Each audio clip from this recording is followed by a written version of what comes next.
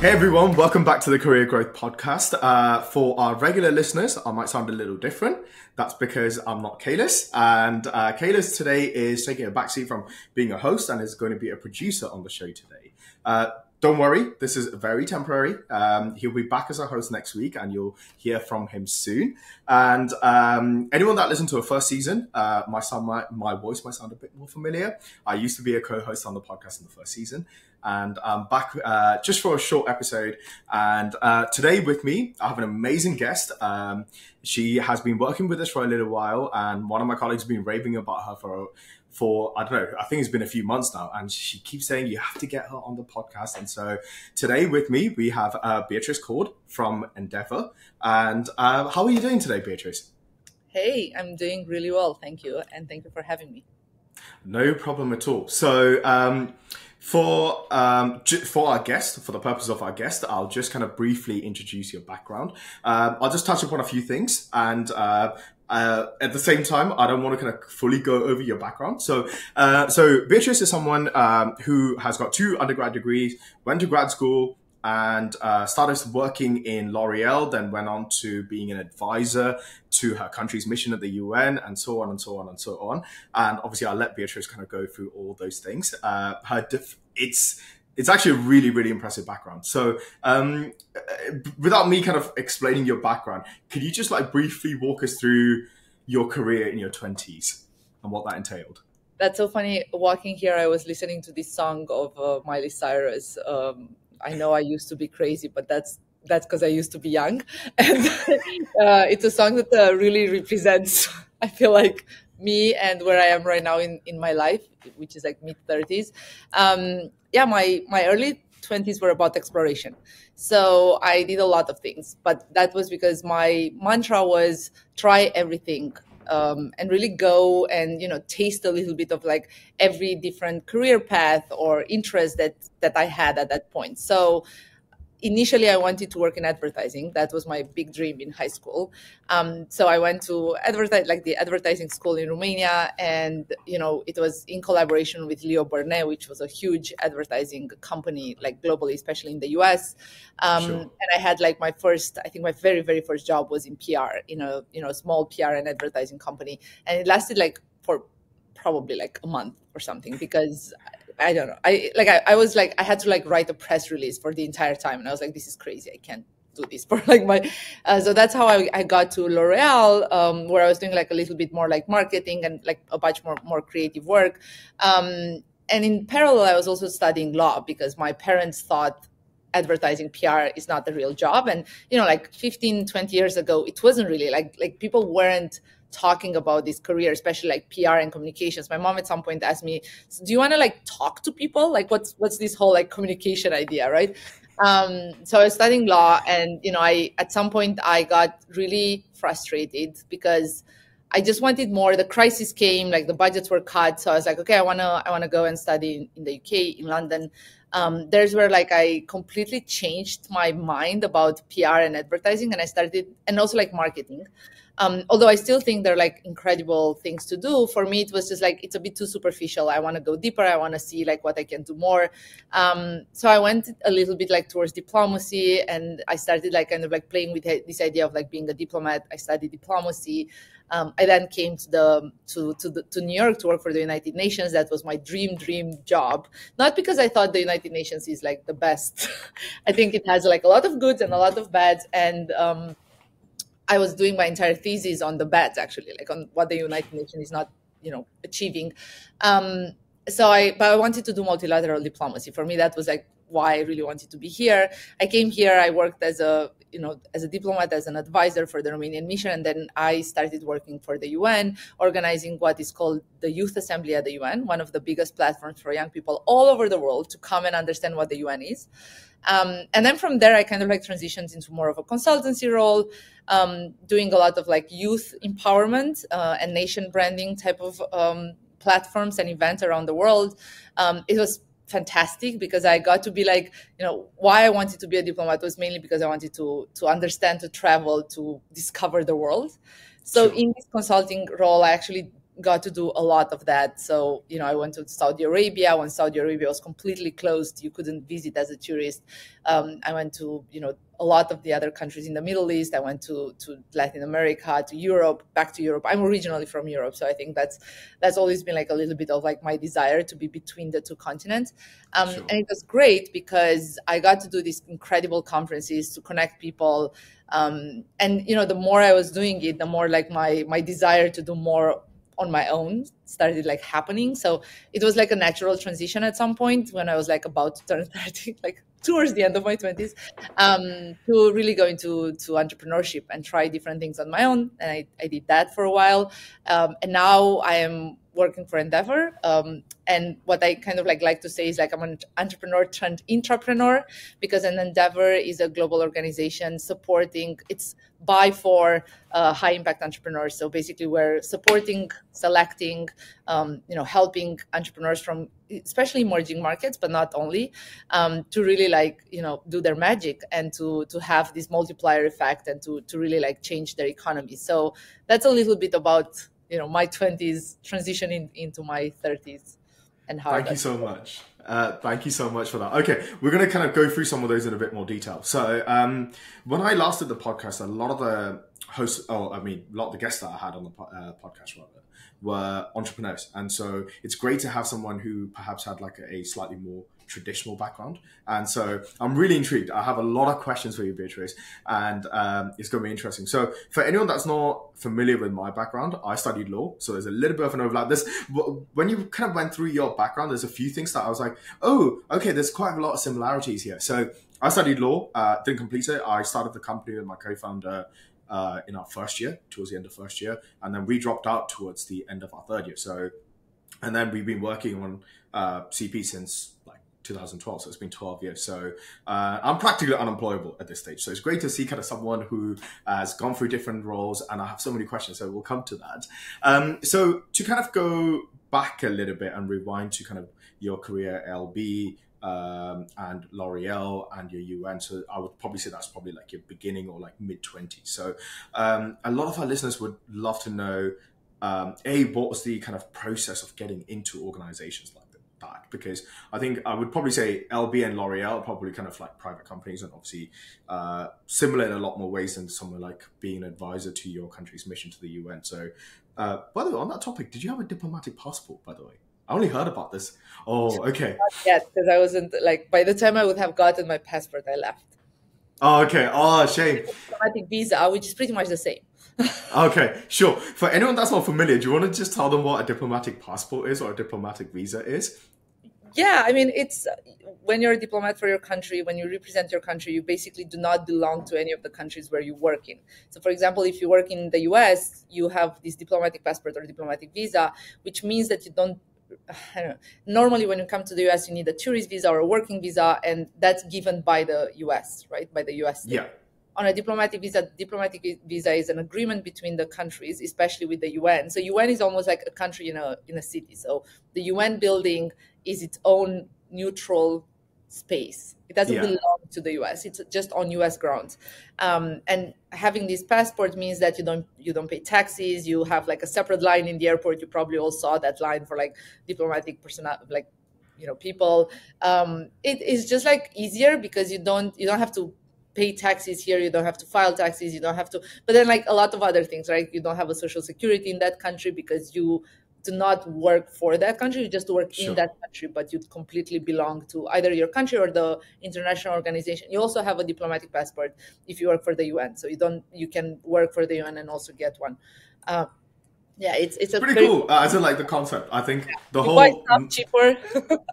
Yeah like i think it's a lot harder to yeah the taxes um I think the police will treat you very differently as well, right? Yeah, uh, you they're not. I mean, they can stop you, but if you show the diplomatic passport, um, they they're not allowed to like fine you. They have to report you back to the police of your country in a way. So then you kind of like so you're yeah you're a little bit exempt. Obviously, if like bad things happen or if you go, but like if they just stop you for because you you were driving too fast, they yeah. cannot actually like fine you.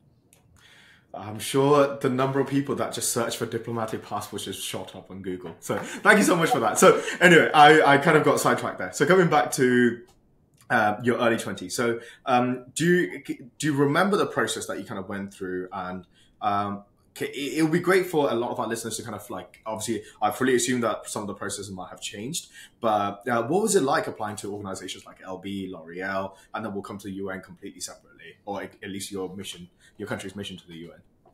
so just just a caveat i didn't work for the lb it was just like he they had a partnership with my university. So it was like I the university was under him. I worked for another another advertising company that i'm not even sure they're around because a lot of them have been bought up and so on. I did work for wpp which is the biggest conglomerate um, in like advertising communications and so on. What was like it's very interesting. So uh, the first job in PR that I got, I was so first of all, I studied during my university. So I was stud I, I worked, sorry. So I was studying and working at the same time, which is something sure. that I don't know how it is in Romania. You can do that. I think in the US it's much harder, but in Romania you can 100% combine them. I mean, it's a lot of work. I used to like sleep very very little um, but I did I did work while I was I was studying. Um, so I was like early twenties when I had my first job in in and these were my first real jobs. I had other jobs before I got to university. I won't go into those because those are sure. just like make money. Um, so my first job in PR, I think I got it honestly through participating in different um, networking type of events and meeting people, and then you know applying for these internship opportunities. I think when you're in school, it's actually super cool because it's very easy to get into an organization through an internship, right? Um, most of the companies easier, are, I'll probably say. So they're looking for they're not paying internships, but they're looking for the talent. So they're willing to like open up because they want they need they need a talent. They need i mean even now i'm i'm looking for interns for the summer um, because i you know it's fantastic. Like they're super smart. They're willing to like prove themselves. And you know it's a great opportunity to to to have like a lot of the work that you need to have done done. So i think it's it's i always say it's probably easier to get into an organization especially like these like bigger corporations or so on when you're super young and then yeah. like grow from there which is something i didn't do i have a lot of friends who you know got into incredible positions just by the fact that they started as an intern and then just stuck with the organization and you know naturally they progressed to incredible executive levels um, so that's what I did. I, I I I love networking. I've always loved meeting people, talking to people, and that you know from a very early age I was pretty like outgoing. Um, and I remember like I met the person who was running this organization, or like she was like one of the leaders of the organization of the PR company um, in a student type of conference, and okay. then you know she published the job. I applied. I had an interview with her, so it was like the the whole process. I got that, and then the L'Oreal thing in Romania at that point, um, the the job fairs started coming. Okay. So you started having these companies, um, you know, coming to campuses and just like, which is 100% something that is still very, very strong even now in the US. But I think it's also like getting more stronger in other parts of the world. And Romania was kind of like slow into that. But, but yeah, I went to a job fair and there was this booth of L'Oreal and this person who was presenting L'Oreal. And I remember like I already had a job. So that's a very funny story because I already had this job with a PR, but all of my colleagues didn't have a job and they were desperate. L'Oreal is a great employer. To be honest, it's a great place to learn and to grow. Um, so they were desperate to get a job with L'Oreal. And I was like not even interacting with the guy because I already had a job. So I was just there to support sure. my friends. And I was like kind of like sitting there and he was like, What about you? And I was like, Oh no, no, I already have a job. He's like, Well, maybe you want to still apply. I was like, No, no, I I, I have my dream job because that was I thought that was my dream job to work in PR and in advertising, right? And they're like, Well, we have positions in PR and advertising too, so maybe you want to apply. No, no, I'm I'm fine, don't worry. So I completely like blew it. Like I was like, No, I'm super cool. I don't need you. Um, and then I went, I started this job, but like he still gave me his card or something. He was like, well, sure. if anything happens, because I was my, in my first year of university. So he thought maybe in your second year or whatever. Um, so he gave me his card. And then I went on, I started my dream job and my dream job proved to be like not dreamy at all as, as i said i mean it was great it's just it wasn't i just didn't feel and when you're so young i feel like it's really like my advice is don't stay when you're super young the world mm. is yours so don't stay in anything that's not feeling like right um, sure. so I, I, I called the guy i was like hi do you still have the position because i actually I want it. He's like, well, we don't have the PR and you know the PR one. We do have the marketing one. And I remember I went in and I had like he set me up like I had the first interview with him. He was a human resources person, and then he set me up with the director of the like there was this small kind of like department. Um, okay. he basically set me up with him and it was like he became my mentor it was one of the most incredible interviews of my life and he was also like the person who encouraged me to like leave the organization and go study and do other things and you know i kept meeting him throughout throughout my career. He, he was this french guy super creative. His office was like full of like old like um, hair things because it was like a the, the department was about like hair products.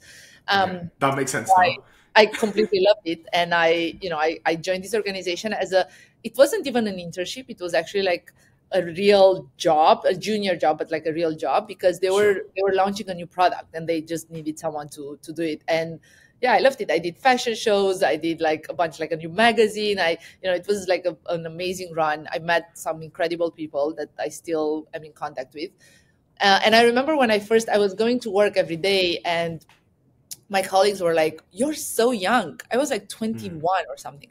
And they were like, You're studying. Like, why are you working? Like, you shouldn't be here. You should be like studying. And I was like, No, because it, it, I started in the summer. So it was supposed to like be a summer type of thing. But then I just kept going. Sure. Um, and they were like, Yeah, like, you know, I, I just kept going because I loved it. And at some point, my mom was super afraid that I was missing my school because of working like full time. And I remember she would come next to the building and she would be like i'm just gonna go there and say like you're not allowed to work and i was like mom i'm over 21 so you cannot really do anything um, but yeah i i really love that but that's how i did it like networking fairs meeting people and just you know putting yourself out there i i must say i never really applied for a job directly in in mm. like, like LinkedIn, for example. I mean, yes, I've applied, but it wasn't ever something that actually worked out. I feel like for me, it was always like meeting people you know yeah. that somehow lead you into like that role or like figuring out like oh i love this organization who do i know from this organization that i can you know talk with so i think like for me that's and it, it kept working i think that was not just in my 20s it was like all throughout my life it gives you a slight advantage, right? Because knowing someone and having someone internally that could potentially vouch for you and yeah. say, "Oh, I've met Beatrice," and uh, she was quite impressive and she completely blew me off, but I think we should still kind of speak to her. so, uh, I mean, to be honest, it's it's one of those things, right? Like you receive, and even now with AI, I think it's even worse. Like hmm. hundreds of applications, right? Like they're like piles and piles of CVs. Um, some people just like go through them with some AI, uh, you know, app. So like how do you decide? I am so i am now in the process of of selecting interns and, and you know interviewing interns. And it's super hard. Like if you don't know them just through and now it's you don't even meet them in person right? Because it's like mainly zoom calls. Like yeah. how do you decide? How do you feel like the right they're the right vibe or like they fit? Especially when you're that young i was actually discussing about this. You have pretty much nothing. You just have your youth and that's perfectly fine. But that that's where it becomes like harder to figure out okay like why this person and not that person. They're both you know they're both studying they're both great at what they're studying and like enthusiastic and young and fresh and so like how do you differentiate between this person and that person? So like yeah. when you meet someone you get to like feel that person vibe and like their personality and like whether or not they're passionate and you know like you, you get to understand a little bit more about them especially at that early age. Because like afterwards sure you you build a portfolio. You build a cv you build like a lot of like background that supports you sure. in a in an application. But when you're 20 you don't really have much you know like yeah there's nothing that separates you because um, this is one of the things that uh, one of my professors said in the first in my first semester. He basically said vinay turn around and look at this lecture theater. There's 300 people here. There's nothing that differentiates you from other person here. And so I completely uh, agree. And yeah. obviously, being on the hiring side, um, but this is where small, small things can set you apart, like um, sending like a really nice follow up email after For a call. Sure. And yeah. uh, or like just meeting them in person at a networking event, keeping in touch. But I think also with things like LinkedIn, it's gone a bit crazy as well because if I go speak somewhere, um, I probably get like 50 connection requests uh, straight after that, and it's just yeah. a bit crazy. But um, I know that we we have another overlap because you worked on an MGF uh, project back in 2017, 16, 17, 18, one of those yeah. few years, right? Uh, yeah. So in Saudi Arabia, which must have been very different because I spoke at that event in 2022, so two years ago, and um, of my pride and joy because I've started that program as a program director. I, I did the very first MGF. Oh wow, that's extremely like proud because it grew. So, I mean, it's not because of me, but it's just like you know when you start something and you see that growing so so beautifully, you're always like, ah, I'm so happy. It, it was crazy. So in 2022, when we were doing it, it was at a royal palace, and it was a two-day thing, and 20,000 students and young people attended it. And I must have spoken to, I felt like I spoke to 20,000 people at that day by the end of those two days, but it was insane. And so, anyway, we'll come to that. But um, just going over some of the things that you just briefly mentioned. So, um, you said you're a huge advocate for switching jobs and trying different things in your 20s, especially if things are not kind of looking from the outside, you might have a perception of a company or an opportunity, but when you're working inside, it's usually very different to how you yeah. perceive it. And yeah. um, that and I also want to bear in mind something that you said with your colleagues. Some of them start off as interns or in graduate roles within that company and kind of just work their way up. So, um, with those two kind of approaches, what are your thoughts and what would you kind of generally say in terms of advice to people in their 20s who are kind of not sure if they want to stick it through and potentially get a promotion in six months, 12 months, or go somewhere else and perhaps the grass may not be greener?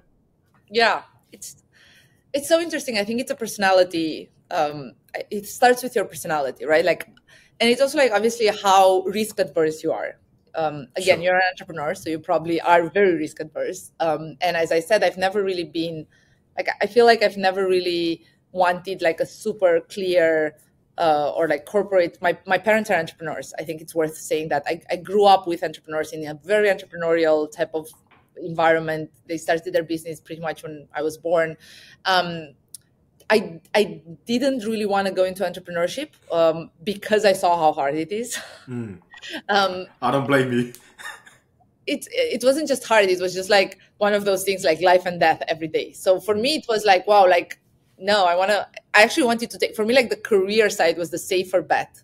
Sure. Um, especially at the beginning. And it was also like a little bit of like, as you said, right? Like you're unemployed, but th- that's exactly what my parents say. Like for them, it's like, it's either the business is going to work or we have nothing, right? So for me, it was yeah. a little bit like I want to have more chances to explore more before I get to a point where I commit fully to something that I actually want to build or I, you know, want to be committed in. But like having that in mind, so my brain was always like, I am gonna go out there to find like the best thing. And if I don't find the best thing, I know that eventually I want to become an entrepreneur. So I want I know that eventually I want to like if I do stick to something, it's gonna be something that I build, right? So I sure. think that's like the type of mentality that helped me be very you know change and flexible. And uh, generally like yeah like i did have a bunch of moments when you know i was never like i never got to like i don't know um, president of a company because i stuck around six years. Um, sure obviously you advance when you change roles but it's always like harder to get like those like super high level positions right? Um, and i did have friends that stuck with an organization for three four years and by the time we were like 25 or 26 they're like executive director right? Mm. um, and i had moments when i was like oh maybe i should have done the same. Maybe i should have like stuck to different organizations. Now in retrospect because it's beautiful when you're able to look in ret- retrospect um, for me this worked because i never my, my mantra was like don't wake up with a regret that you didn't do that.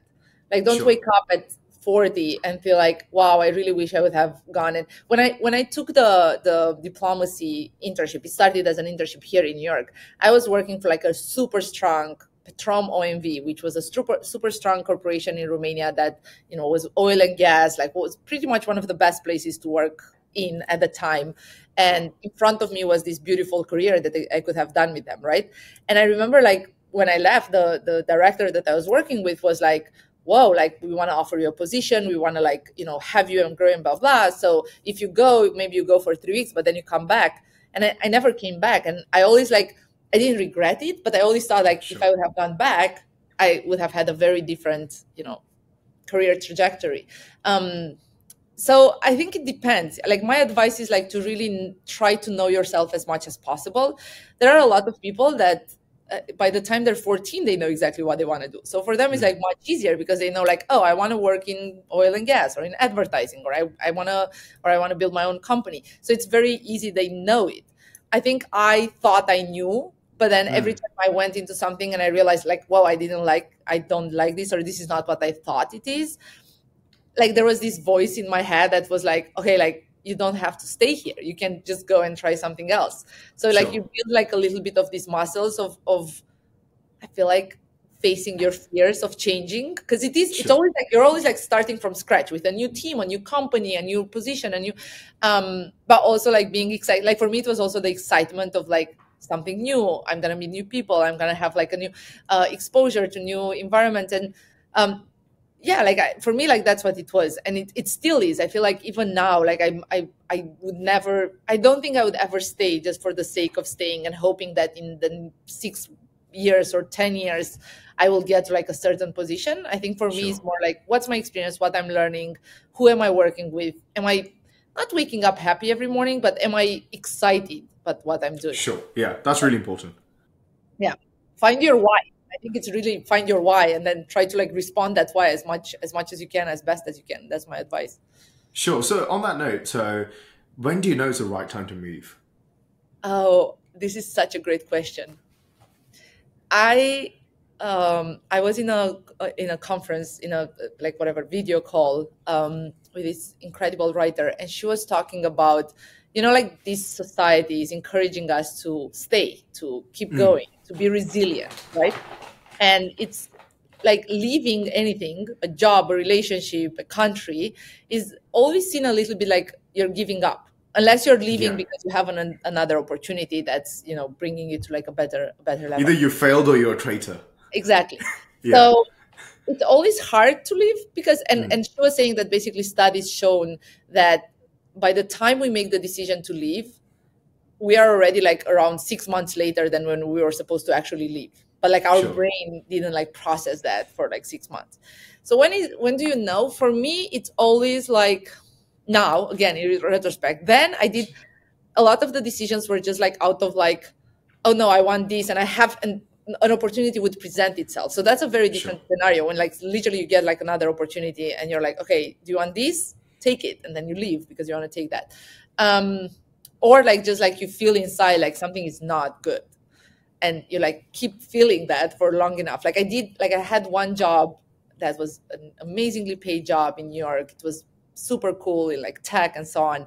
I was like waking up i don't know not just not feeling it. Like i didn't want to wake up every day. And i Mm. and i knew like this is a great job. It's a super well paid. I have an executive position all of that right?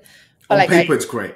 on Like, paper, it's great, but like I was not like I didn't feel like that's what I'm supposed to. And I remember like I said it out loud to a friend, and then like in a few days after that, like you know I had a conversation with the founder, and like everything like pretty much like fell into place because I really believe like once you're able to like vocalize what you want to Yeah. do somehow the universe you know comes around and either pushes you to do it you know like you get fired or you know something happened or like really like helps you to do it you know like another opportunity comes along or something you know something else so i think it's it's two ways like you either like but it's hard because if you don't know that you want to go then you're not going to look for other opportunities right so like you Yeah. kind of have to like decide and either put it on paper or say it out loud or you know make a little bit of a commitment and then just look for or either look or just be open you know like open up for new opportunities like linkedin for example you can put that you know open for opportunities or, or something tag in your photo like that's like a sign a very now very clear Oh. sign for everyone Your thoughts? Oh, I would love to ask you about this. What if one of your colleagues put that up about they're still working at Endeavor? oh yeah that would be weird i, I mean I I don't i've never every time i left i already had something else that i was leaving to right Sure. So I Um, think that's a good idea, right? only so, when I left to start my own thing, I had nothing, and I was Sure. like, "Okay, I'm leaving, and we'll see. Um, and that was terrifying. I think it's terrifying when you leave and there's like really you have no idea what you're leaving to. it's like jumping off a cliff, right? You just yeah, like you you just really like. I remember cliff. like I felt like like for a few days I was like like I, I don't know I couldn't even speak. I felt like oh my god, oh my god, oh my god. like it, it just gets so. Yeah, um, I don't know. Like I normally, so I've never really put that on LinkedIn. I do think Mm. during these days you know there's so much layovers in big companies in tech companies like there's so much happening and i always appreciate the courage of people to come up there and say like i'm leaving this or i've been laid off yeah. and you know I, this is what i am good at like if you know any, i think that's that you you need so much courage i don't know if i would be able to do that yeah. um I agree. I agree. I respect this. Uh, I feel like it's a development of our society of which we vulnerability is no longer like a seen as a bad thing. It's starting to be Yeah. seen as a as a courage. And I think the generation coming, by the way, they're they're really gonna change the the game. I mean, I've heard like crazy things from people like just not showing up to their jobs the second day without saying anything just because they didn't like it. And I mean like very young people to sure. like, you know, people showing up and being like, hey like i don't like this like i need to change this or i want more from this or so i think it, they're really like coming up with like great brave ideas of how to like i think they're very courageous right i, I think uh, yeah. I feel like they, they have a lot more courage and they're a lot more outspoken than the previous generations. I think yeah. if they don't like something, they're not happy. Uh, that's something they're not happy about. They're very vocal about, and they're not afraid to talk about it. And I think but that's a really good thing. It's also because so my parents. I mean, my parents are an exception in their generation because they're entrepreneurs. But basically, that generation, and especially the generation before them, those are generation of people that finished school, got a job, stayed in a job, retired from the job. That was it um, even my parents, I mean, they started this business, they stayed in the business. Like maybe they would have been like, if, like maybe a new entrepreneur would have like stopped and done different businesses five times, right? Like they just sure. stuck because they're like, this is what we know how to do. This is what we're gonna do. Um, so they were not necessarily that flexible. They didn't really understand this concept of like, like my parents have employees that have been there for like 20 something years. Mm. And like that's pretty much like the generation. So I feel like my like our generation we've started doing a little bit of like jumping around moving changing jobs being like a bit more flexible and like of course sure. the generation that comes you know after us was like a lot of their like the, the, their parents also have been more courageous. And there's also like a little bit of a safety net sure. um, because they're they're able to like you know give them a little bit more security.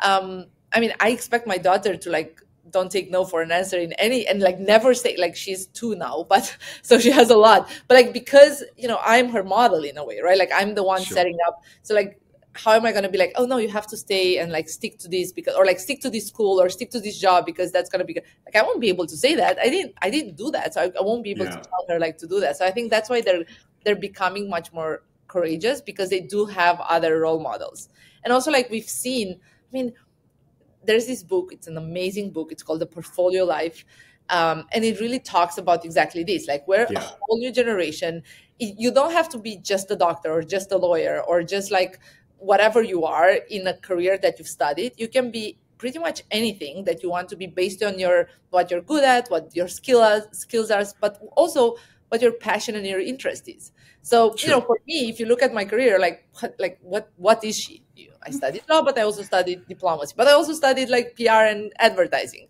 I worked in consultancy, I worked in diplomacy, I worked in tech, and I did my own company. And now I work as you know in, in partnerships. Like it's it's all over the place. You cannot really like find like a red link between all of them and say like, oh, this is why it makes sense. But yeah. it does make sense for me, and I feel like all the skills add it up. And also like I feel like you know because I've done so many different things, something, and even now I I also teach. I forgot to say that, but I, I'm an executive course facilitator for Stanford, and I teach design thinking, and I love it. I literally love it. It's one of like the best things that I've, you know, started doing for like a few years now.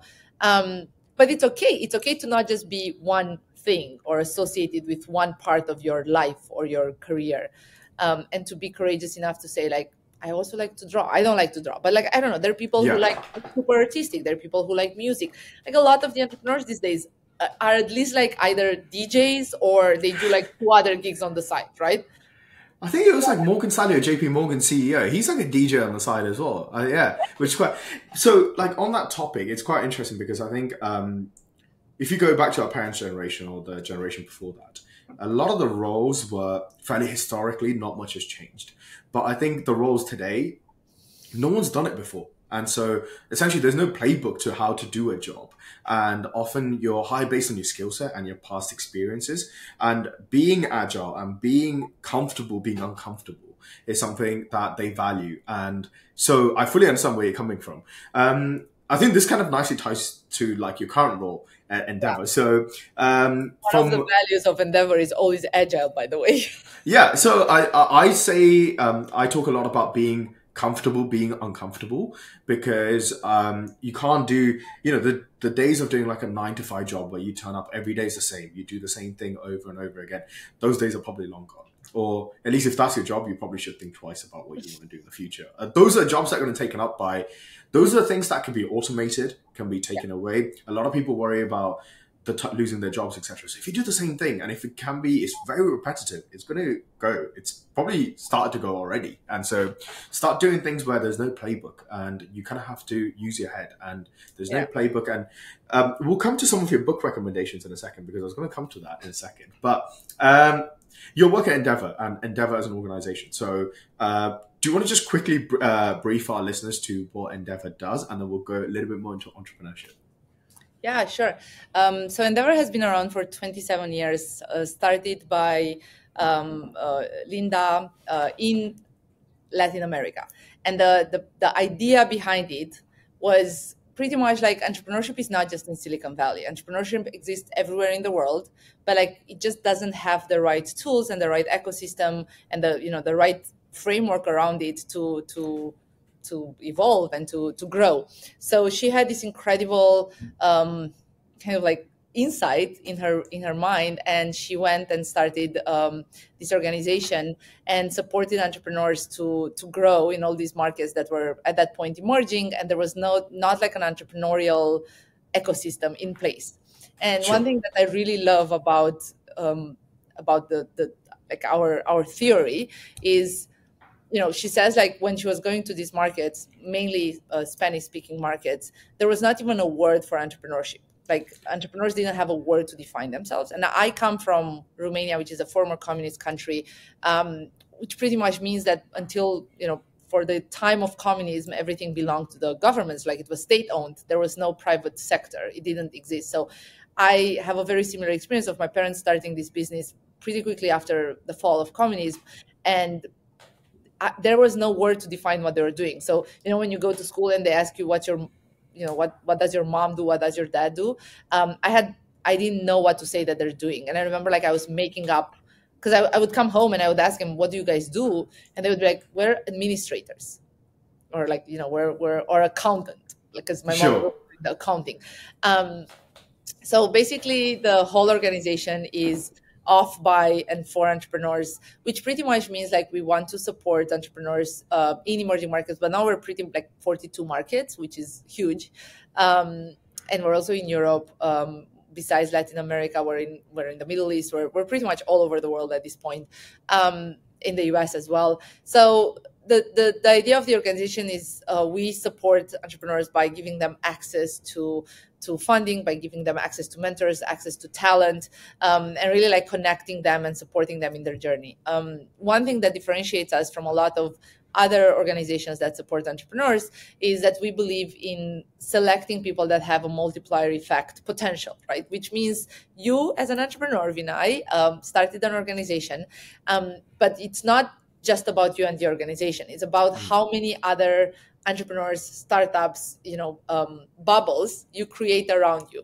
Um, so it's about the people that you hire and then what they go on to do as well, and what other organization they start. So we we kind of like have these bubbles, like the the multiplier effect bubbles of entrepreneurs, which I really love because that shows like one entrepreneur that can create like a hundred other, you know entrepreneurs or businesses or just multiply their effect to a point where the entire market um, you know grows and you know sure. has like a, a positive impact um, so that's why we call them high impact entrepreneurs as well and um, their their impact as i said is, is pretty spread so it's not just financial it's also like social and um, it really can change and we've seen that we've ch- seen these markets like really change and really grow uh, based on the entrepreneurial uh, ecosystem that was built so that's a little bit of what the organization is doing.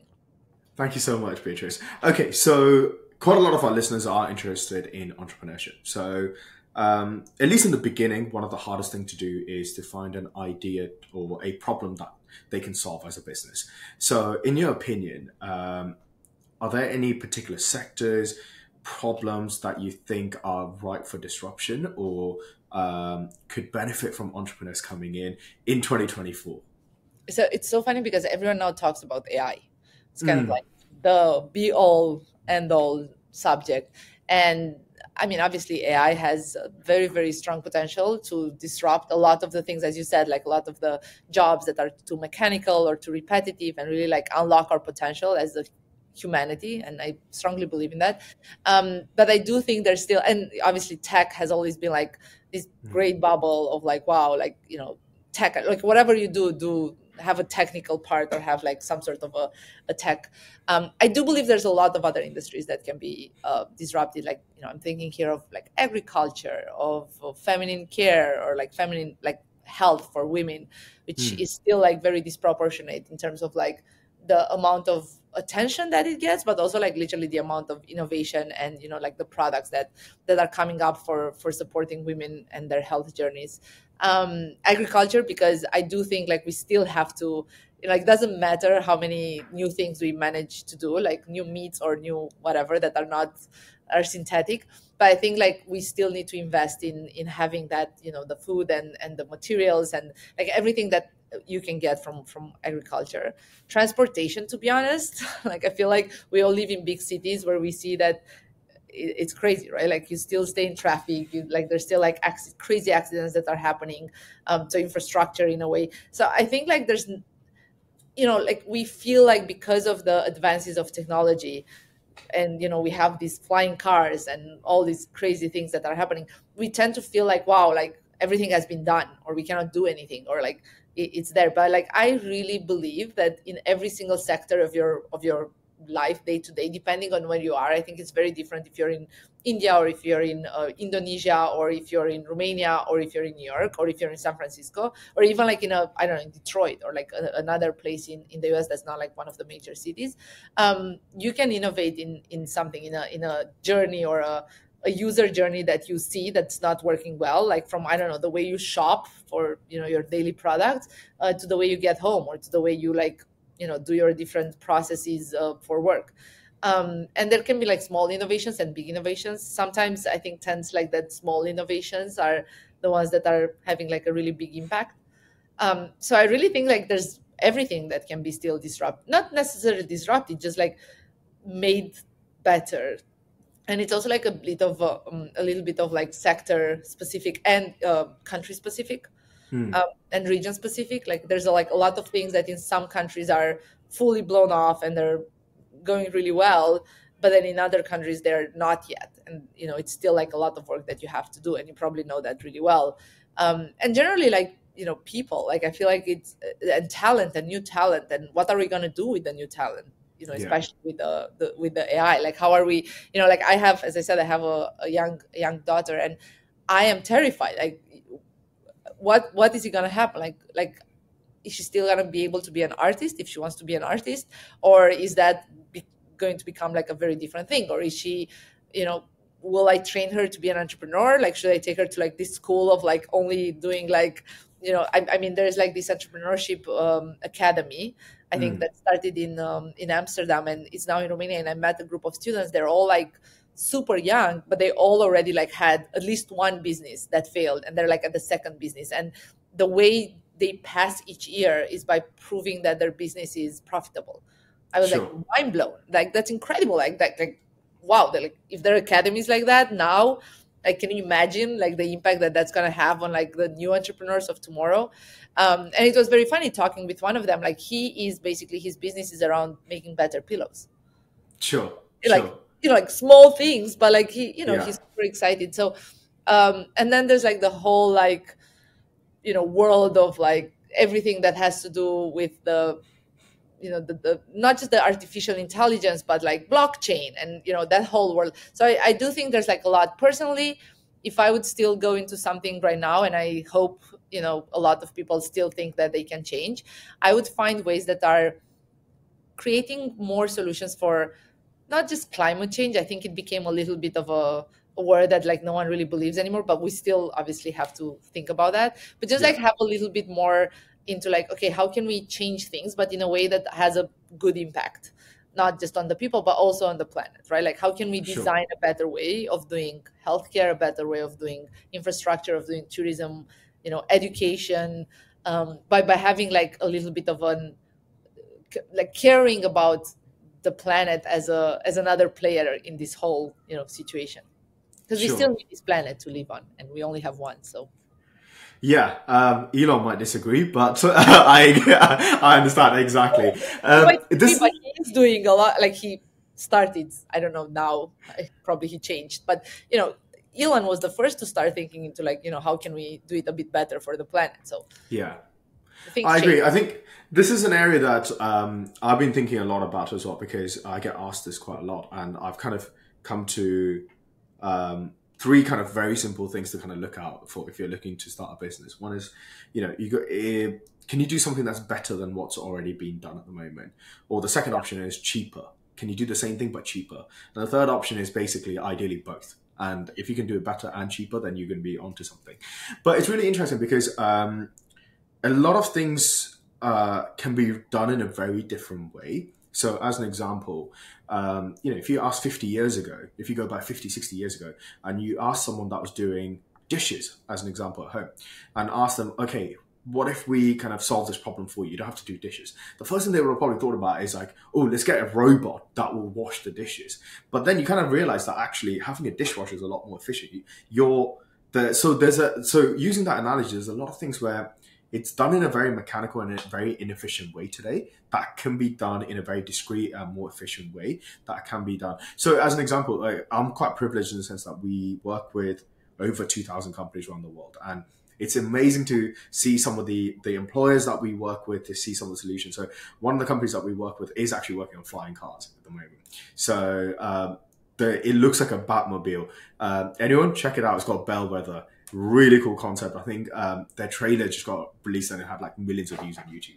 So really, really cool company. So it's just those kind of things where it's like mobility's gone from you know horses to cycles to cars to now airplanes and then you know faster cars and now you're just kind of rethinking the whole thing and thinking okay what's the problem we've got traffic as we were talking about this just before the podcast like traffic as an example okay so what if we just completely like just get rid of the traffic problem and just fly through all of this and so it's just really interesting because how can you start doing things where the problem is just solved in a completely different way than what's being done at the moment. So that's quite interesting.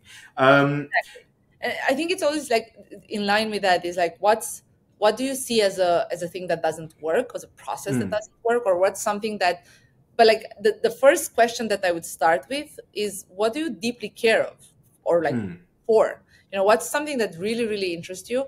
And the the way to look at any new innovation is you know do you spend enough time looking into that problem with like a different perspective yeah. um, i think a lot of the super big innovations of this world were done by people that were just purely interested in very simple as you said dishwasher or like you know driving a car or like they were very very interested in different topics and they were just able to look at them from a different perspective and see how they can be done better. And i, I 100% i mean banking you know like banking was a thing that we thought wow it's done. We have the banks. Everything is great. But like yeah. now majority of our portfolio from the endeavor entrepreneurs are in fintech because in lot in a lot of these emerging markets the one thing that doesn't really work almost at all is banking so yeah. you know they yeah. innovate on payments they innovate on credit they innovate on so many things um, and just like and I, we had like our honoree um, for our gala last year was david Vélez from nubank which is a um, a new bank from from Latin America and you know he was telling us like he basically moved to a new country in Latin America and he just couldn't open an account and that's what made it's crazy. think like, this is not possible. Like it, it cannot like this cannot be this hard to open an account in a bank. And it cannot be like so tedious and complex and so on. So you know that's how he started. Like he wasn't he was i think he was working in investment. He had a great job. He he, he wasn't like looking to become an entrepreneur and, so, and solve a, a huge problem especially in a in a market like that was super emerging. And but for him it was like this is a problem like i'm sure other people have the same problem that i have and i am sure that you can do this better and now he's doing like you know amazing with with Nubank and creating like a new way of banking um, so I, for me, it's always that. Like I, what I wanted to do, for example, what was my business that, for the time being, I would say it didn't fail. It just like it stopped. Was to do better uh, intimate care products for women out of materials that are not toxic. Um, sure. Why? Because I was looking around and everything that you had was super toxic. But they were just like, I mean, it's almost like, you know, tampons are OB. OB is a company, but it's like Uber, right? Like now Uber became like a, it's not just a brand. It's like you're Ubering is like a whole, yeah. it's a verb. It became, so it was the same, right? Like the, the product and the brand became so big that it was almost impossible for anyone to think you could actually have another product yeah. that's better than that product. But now, and this is like almost five years later there's so many new products there's like so many and like this whole conversation started around like okay like how can we do better products there's yeah. like there has to be a way to do cleaner better nicer products that are good for the planet but also they're good for our bodies right so i think yeah. in everything that you look at like you know how can we do better clothes how can we stop this craziness of like having you know like the the whole clothing industry is one of the major impacting uh, industry in terms of like climate and you know how it like dirties our our environment. Like yeah.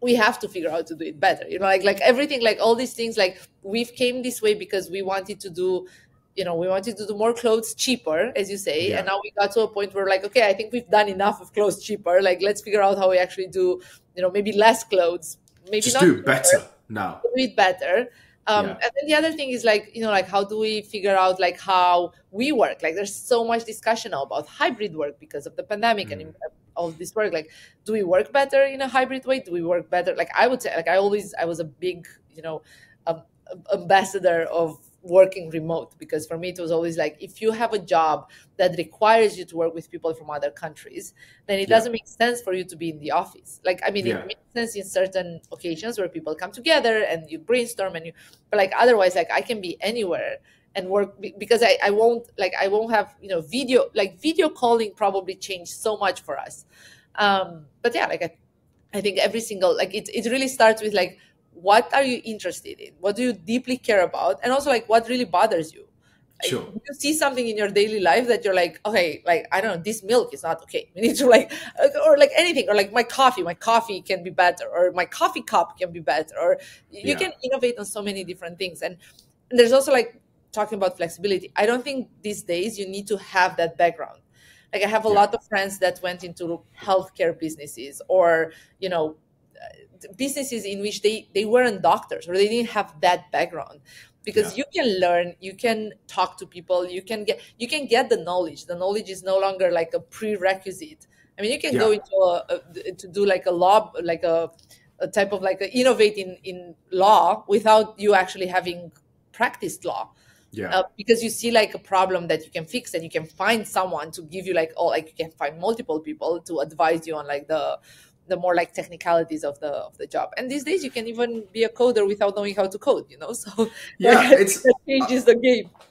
I think sometimes it gives you an advantage not coming from that background because i guess you're not kind of weighed down by uh training in terms of just being told how to you essentially have blinkers. When you become an expert in an area yes. you kind of have blinkers on. You just do it in like without really looking at it. And coming from the outside from a very different perspective, it could be really, really helpful. So that's that's actually a really good point. I think um, I think from what you just said, I think what I can probably say is it's find things that frustrate you as a person. Yeah. And then that's probably a good place because if you're frustrated, I'm pretty sure there are other people that yeah. have that similar uh, feeling. And then if something could be done better on the back of that, that's probably a good place to start, I guess. Yeah, uh, that's interesting. I'm a design thinking uh, course facilitator, so I have to say, like in design thinking, you always say like you you can start before you listen to the user before you sure. you really go out there and you say okay i have this problem do you have this problem do you mm. have this problem like how many have this problem and then like also like be a little bit aware of because that gives you product market fit as you know it's one of the most important thing to have um, but in the same time i also i'm a little bit like and i hope my colleagues won't hear this um, there are a lot there's a lot of innovation starting mm. with the car ford's story for me is like one of the most incredible stories.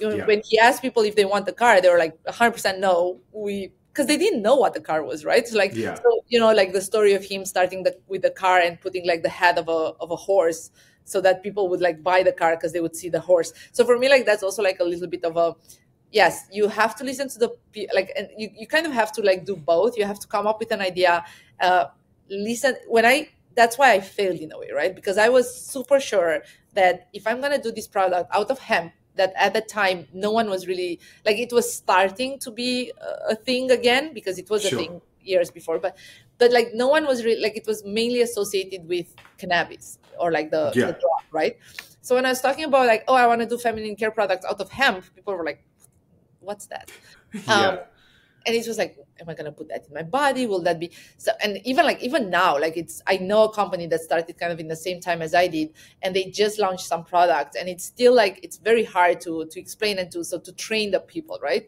Uh, and to make them feel like you actually need these because so it's a lot of like education. Yeah. But unless you find that product market fit, and unless you figure out like maybe you don't do a product first. Maybe you do like an app that teaches people about that certain problem right? Um, because you might find that you have an amazing idea. People just don't understand what your idea is. They're super used to doing things the way the way they are doing it.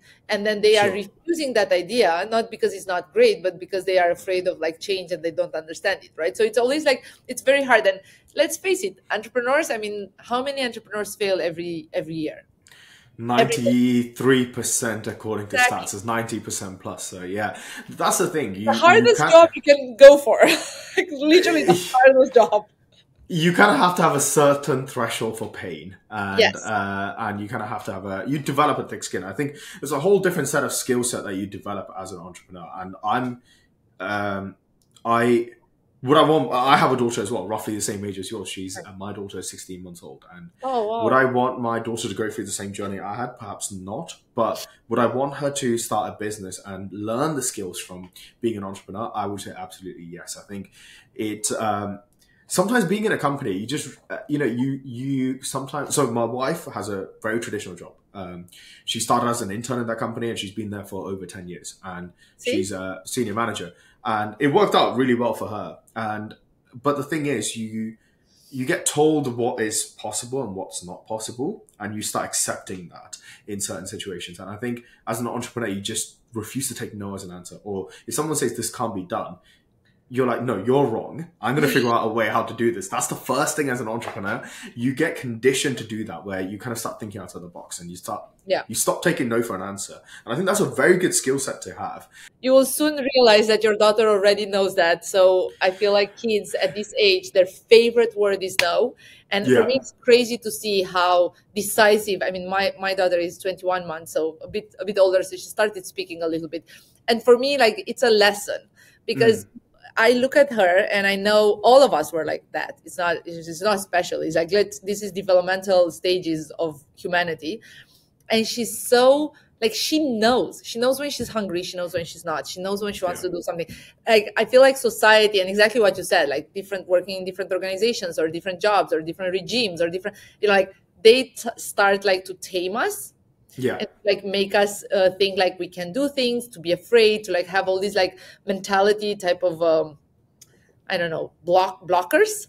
Yeah. Um but that's how we are. Like we are mm. born entrepreneurial. We are born yeah. wanting to do what we want to do. We are born thinking that no no no i'm gonna push like literally she would go to something that she knows she's not allowed to do. She would look at me. She would be like no and she would do it yeah, yeah. And that's something beautiful to see as a parent, but also just like a human, because you get reminded of like, wow, like, no, no, no, we, that's how we are.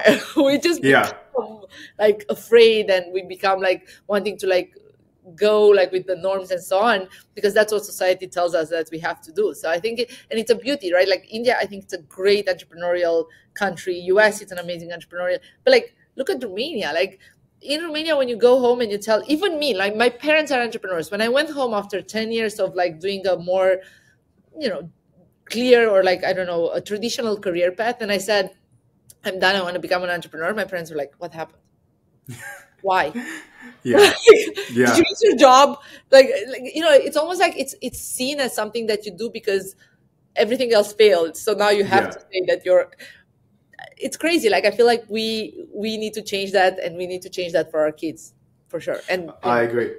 Uh, I think I can speak to you about this for whole like you know exactly. hours and hours, but um, I just have two two quick uh, questions, and then we'll kind of quickly wrap up.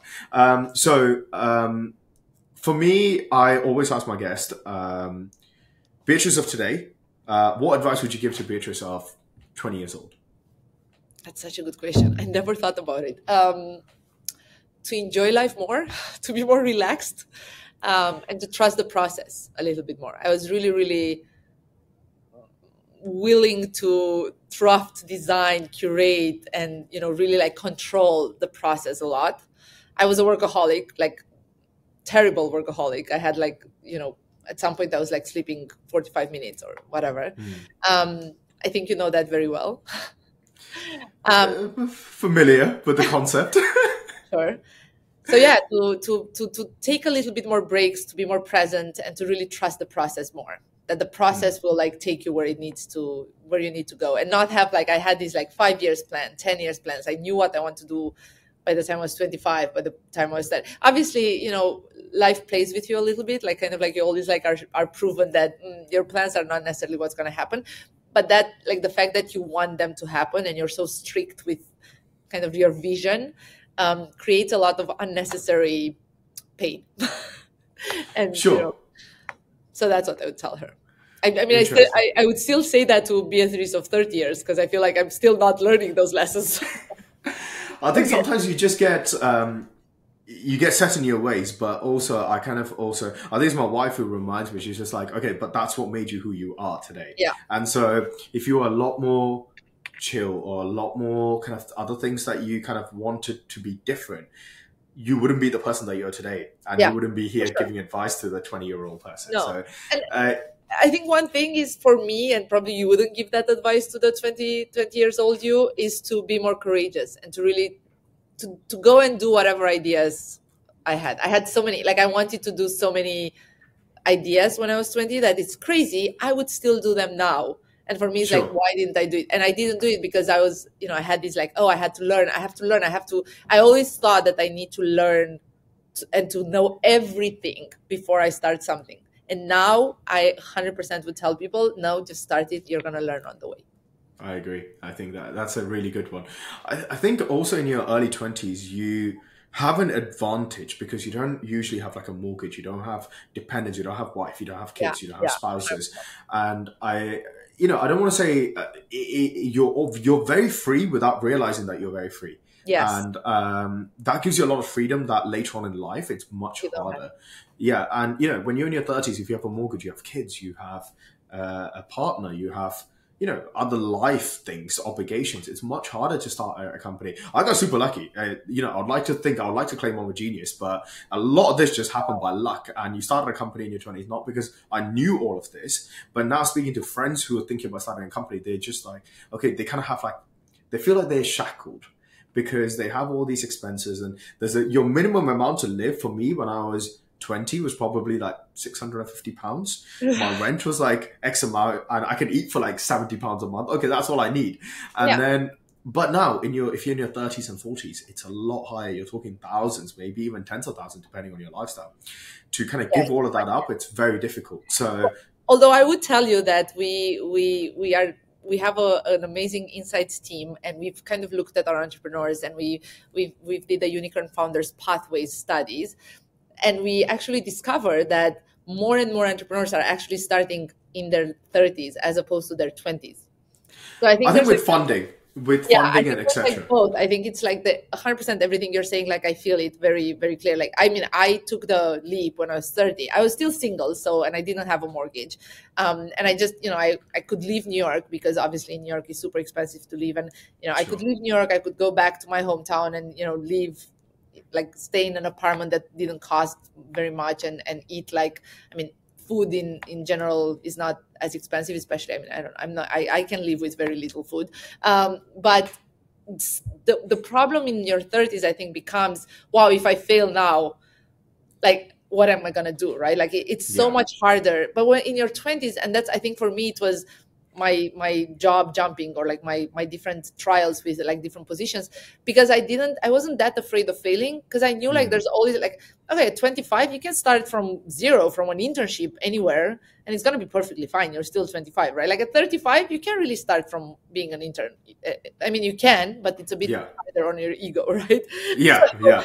um so i think yeah like everything you said um, but there is like a little like i feel like there's never too late. And that's something that i am still learning because you know after i started the business and didn't work out i was like i'm done. I have to find like you know i'm i'm already 35 it didn't work out. Like what am i going to do? But like in a way if you think if you look at like so many entrepreneurs like a lot of them started in their 40s and you know they had a little different maturity and approach. And obviously if you do have a job a traditional job that pays the bills and you're able to actually start something on the side and grow it then it's also like a very different position right? Because you're like Yeah.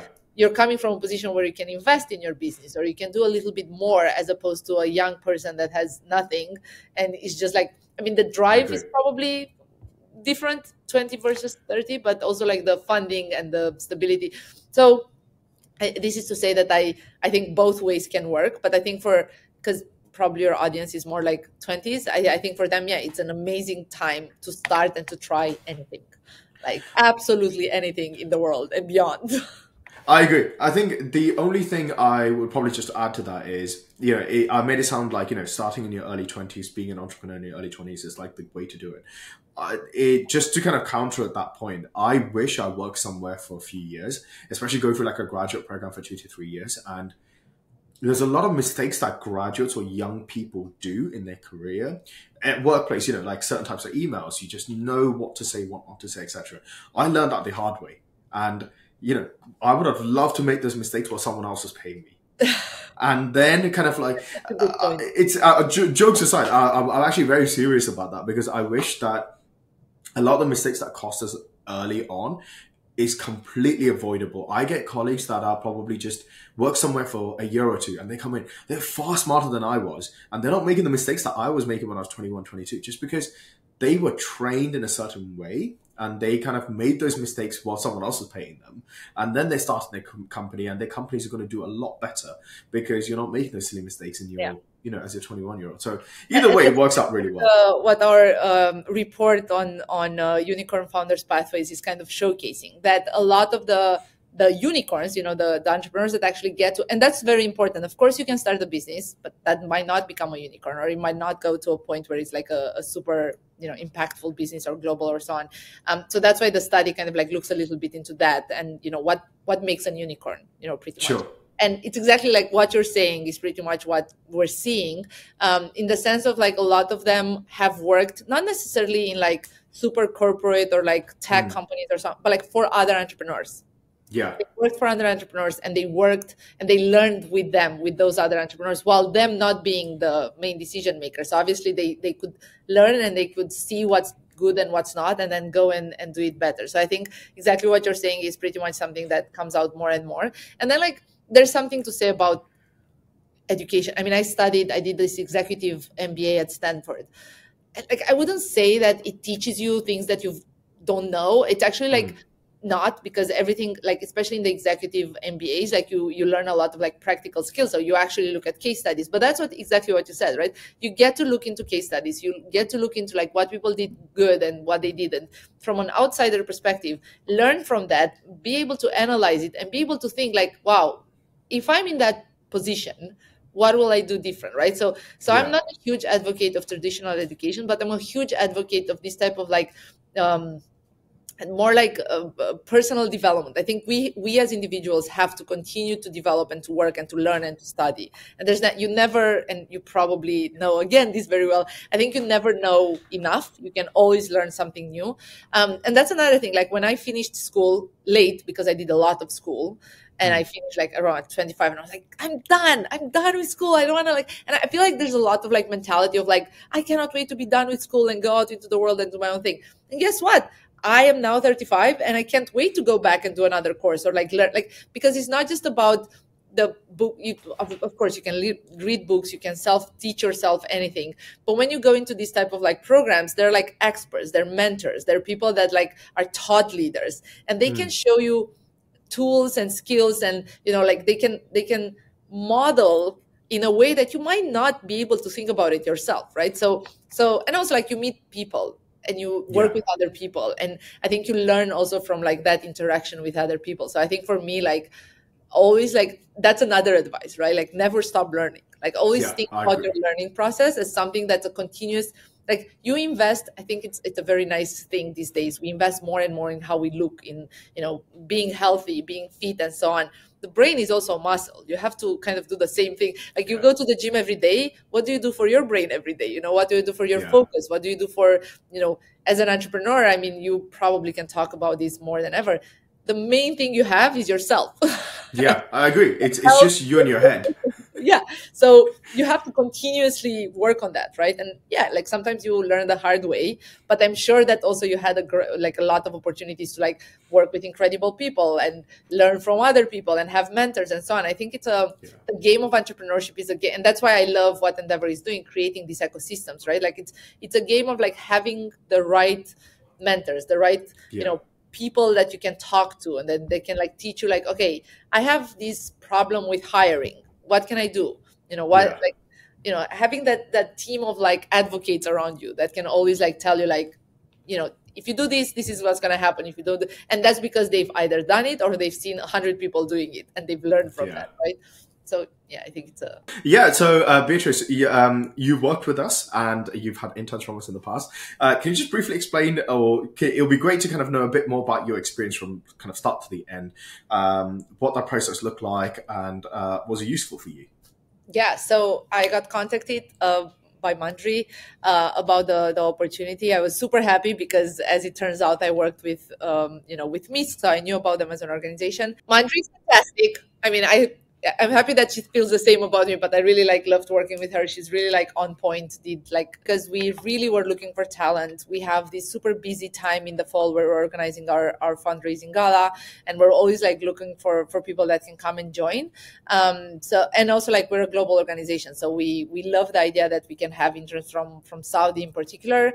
Um, everything, as I said, the experience was was fairly easy in the communication sense. We had like really seamless communications and then great candidates. Um, i'm sorry that a lot of them were like very fast to go but like anyway the uh, the candidate that we ended up with was was really fantastic.